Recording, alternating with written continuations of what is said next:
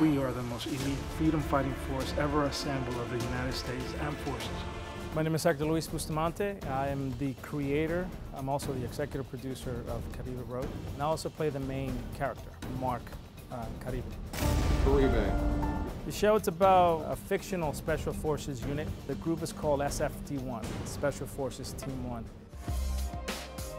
We're coming correct with the quality, of the production, and then we're, we're a family. So it's not this whole sense of one person the star. It's like we're all the stars. Seeing that it hasn't really even aired yet in its in, in totality and to still have a following and be nominated and winning awards, that's an incredibly impressive feat.